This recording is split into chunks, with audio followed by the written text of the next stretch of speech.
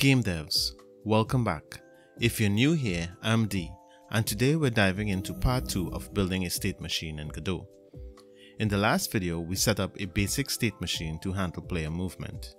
In this video, we'll quickly recap by adding an attack state, then bring in animations for each state and implement a system to unlock the abilities we created before like dashing and now attacking. If you missed the first video, check it out if you want to get up to speed. But if you're familiar with state machines and how they work, let's jump right in. In part 1, we set up a state machine using empty nodes for each state. Idle state, moving state, jumping state, and dashing state, and connected them to our player movement logic in the player state control script. This helped keep our code modular and easy to expand. First, let's add an empty node for the attack state in our state machine and add a script to it.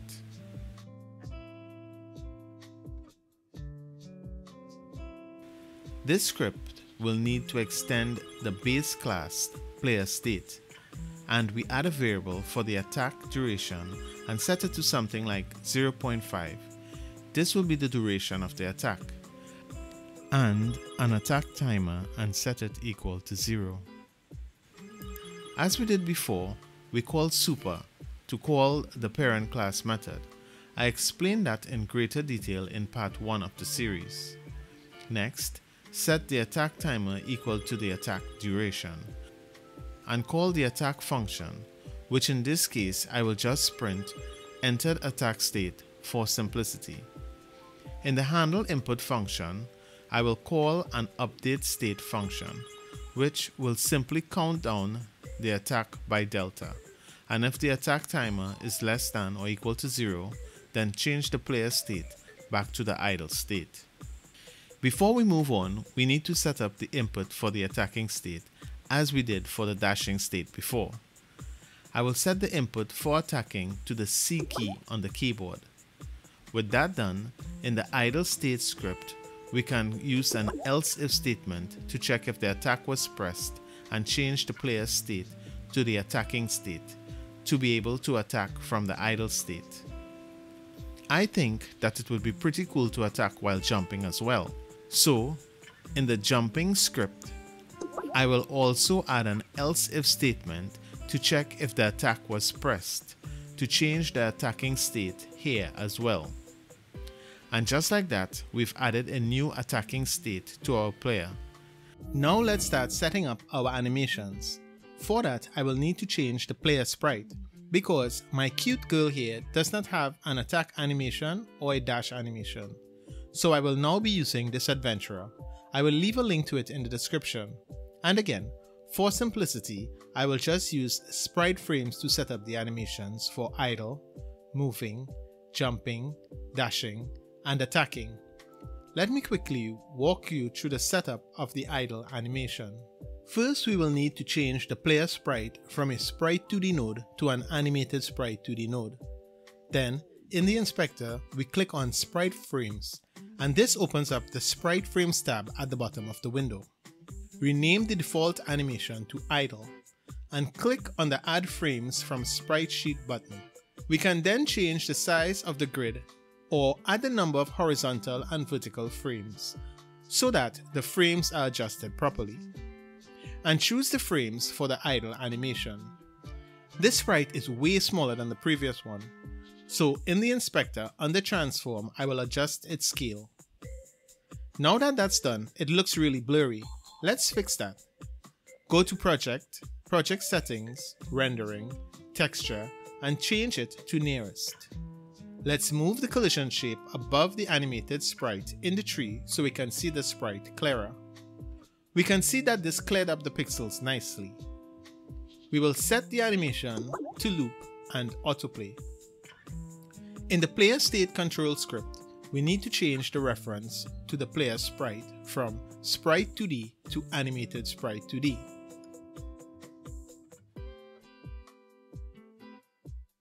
All we need to do is repeat this process for the other animations. The only difference being that we may need to adjust the speed and disable auto start and loop. Now, when we play the game, we can see that the idle animation works fine. Now that we have the animations set up, let's take a look at refactoring the code to handle switching the animations when we are switching the states. This is going to be really really easy, since all we need to do is add a function to the player state control script to play the animation, and pass in the name of the animation to be played. And because we already have a reference to the animated sprite 2D called player sprite, we just need to call the play function on the animation that we would like to play. And for each state, we add the appropriate line of code in the enter state function for each state. Okay, okay, I know that was a bit much, but let's take a closer look. We already looked at the idle state where we called the play function on the idle animation. So let's take a look at the move state next. When we first set up the move state, there was no real need to have an enter state since the movement was being handled in the player state control script. But now that we are setting up the animations, we'll need to introduce an enter state to play the moving animation. I guess you can see where I'm going with this. We just need to call player.playAnimation in each of the states for each of the animations we want to call. In the jump script, we call it here. In the dash script, we call it here. And in the attack script, here. And that's it. We have all our animations set up. And when we play the game, we can see our player animate. Now I do realize that we are about to go a little off topic here, but I think this would be a cool next step.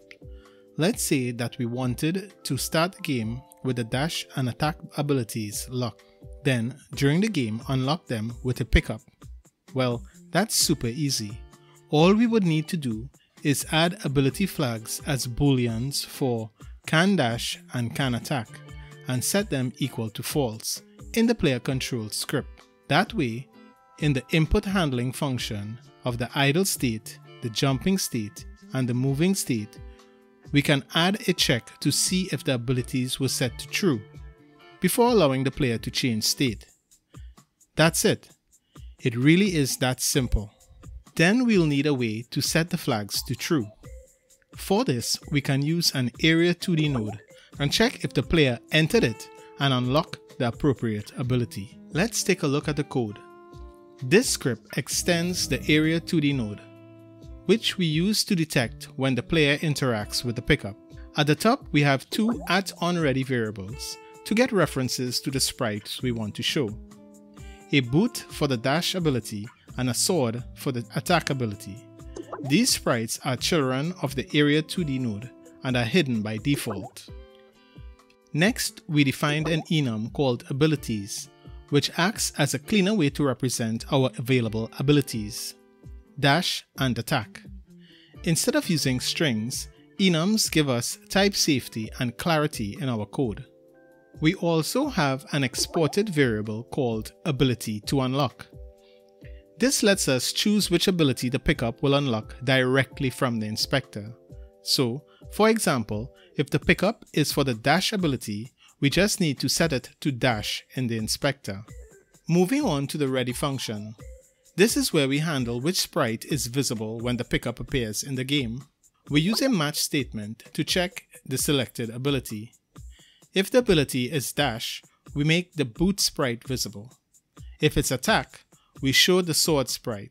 This ensures that only the relevant sprite is being displayed. Now the main functionality happens in the onBodyEntered function, which is part of the signals that an Area 2D has. This is triggered whenever another physics body collides with the pickup. First, we check if the colliding body is the player by matching its name with player state controlled. This ensures that only the player can interact with the pickup. Once confirmed it's the player, we use another match statement to check the selected ability. If the ability is dash, we unlock it by setting the player's can dash property to true. Similarly, if the ability is attack, we enable it by setting can attack to true. These properties are defined in the player state control script and control whether or not the player can perform these actions. And finally, after unlocking the ability, we call queue free to remove the pickup from the scene. This ensures it can't be used more than once. And that's it. The entire script. It's modular, clean, and easy to expand if you need to add more abilities in the future. And there you have it. We've come to the end of part 2 of this series. We added a new attack ability, animations, and unlocked the abilities using a state machine. If you have any comments, suggestions, or questions, please leave them in the comments below. Thanks for watching. We discussed a lot today. Core mechanics with no gimmicks. I do hope this video was helpful. If you liked the video, give it a like. As always, subscribe and turn on notifications so you'll know when I upload another video. And speaking of my other videos, why not check out part 1 of the series here, or one of my other videos. This has been DeeRaghoo Games.